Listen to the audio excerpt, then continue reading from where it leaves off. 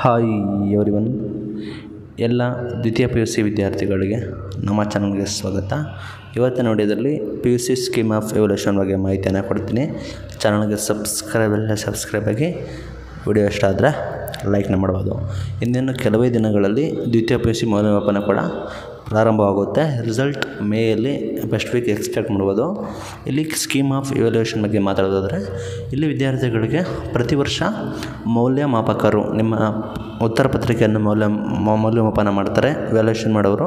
ಮೌಲ್ಯಮಾಪಕ, ಅವರಿಗೆ scheme of evolution ಅಂತ ಒಂದು ಮಾಹಿತಿಯನ್ನು ಕೂಡ ಕೊಟ್ಟಿರ್ತಾರೆ.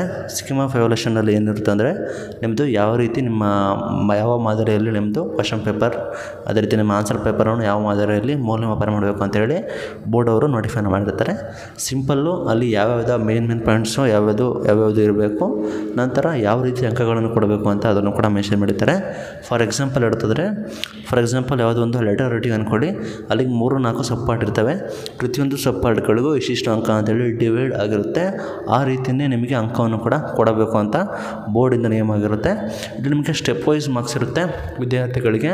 ಕೆಲ ವಿದ್ಯಾರ್ಥಿಗಳಿಗೆ ಏನಾಗುತ್ತೆ, ಕೆಲವರು ವಿದ್ಯಾರ್ಥಿಗಳು ಏನು ಅನ್ಕೋತಾರೆ ಅಂದರೆ ಅರ್ಧ ಕರೆಕ್ಟು ಅರ್ಧ ಬರೆದಿದ್ರೆ ನಿಮಗೆ ಫುಲ್ ಅಂಕ ಸಿಗುತ್ತೆ ಅಂದ್ಕೊಂಡಿರ್ತೀರ ಬಟ್ ಆಗೋದು ಅದು ಹಾಗೆ ವರ್ಕ್ ಆಗೋದಿಲ್ಲ. ನಿಮಗೆ ರೂಲ್ಸ್ ಪ್ರಕಾರ ಸ್ಟೆಪ್ ವೈಸ್ ನಿಮಗೆ ಮಾರ್ಕ್ಸ್ ಇರುತ್ತೆ. ಫಾರ್ ಎಕ್ಸಾಂಪಲ್ ಮೂರು ಅಂಕದ ಪ್ರಶ್ನೆಗಳಿಗೆ ಇಲ್ಲಿಂದ ಇಲ್ಲಿವರೆಗೂ ಇಷ್ಟು ಅಂಕ, ಇಲ್ಲಿಂದ ಇಲ್ಲಿವರೆಗೂ ಇಷ್ಟು ಅಂಕ ಆ ರೀತಿ ನಿಮಗೆ ಇರ್ತದೆ. ಬಟ್ ನಿಮಗೆ ಲಾಂಗ್ ಆನ್ಸರ್ಸ್ಗಳಲ್ಲಿ ಅವು, ಅದರಲ್ಲೆಲ್ಲ ಇದು ಯಾವ ರೀತಿ ಅಪ್ಲಿಕೇಬಲ್ ಮಾಡ್ತಾರೆ ಅಂತ ಗೊತ್ತಿಲ್ಲ. ಬಟ್ ಮೇನ್ ಪಾಯಿಂಟ್ ಹೈಲೈಟ್ ಆಗಿರಬೇಕು.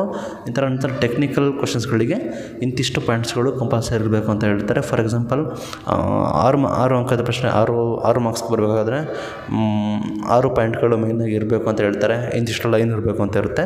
ಈ ರೀತಿ ನಿಮಗೆ ಸ್ಕೀಮ್ ಆಫ್ ಎವಲ್ಯೂಷನನ್ನು ಕೂಡ ಬಿಡ್ತಾರೆ. ಬಿಟ್ಟಾಗ ನಿಮಗೆ ಮಾಹಿತಿ ಕೊಡ್ತೀನಿ. ಆಗ ನಿಮಗೆ ಒಂದು ಒಳ್ಳೆಯ ಐಡಿಯಾ ಬರುತ್ತೆ.